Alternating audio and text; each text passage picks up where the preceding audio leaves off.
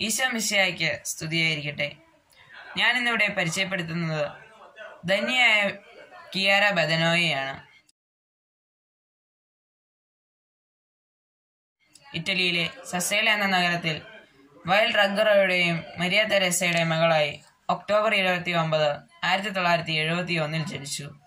ഈശോയുടെ കൂടെ ഇരിക്കുവാൻ ചെറുപ്പം മുതലേ അവൾ സമയം കണ്ടെത്തിയിരുന്നു. പള്ളിയിൽ പോകുന്നതിനും എല്ലാം ഉത്സാഹം കാണിച്ചിരുന്നു. ആയിരത്തി തൊള്ളായിരത്തി എൺപത്തി എട്ടിന്റെ വേനലിൽ തന്റെ പതിനാറാം വയസ്സിൽ അവൾക്ക് അപൂർവമായ ക്യാൻസർ ബാധിച്ചു. വേദന കൊണ്ട് നീറുമ്പോഴും ഇത് നിങ്ങൾക്കുള്ളതാണ് യേശുവേ നിങ്ങൾക്കുള്ളത് എനിക്കും വേണമെന്ന് അവൾ ആവർത്തിച്ചു.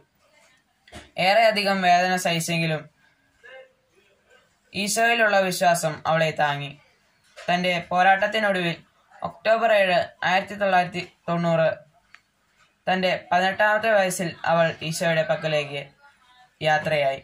അതിനുശേഷം ബെനഡിക് പതിനാറാമൻ പാപ്പ സെപ്റ്റംബർ ഇരുപത്തി അഞ്ച് രണ്ടായിരത്തി പത്തിൽ ധന്യായി കിയാരയെ പ്രഖ്യാപിച്ചു.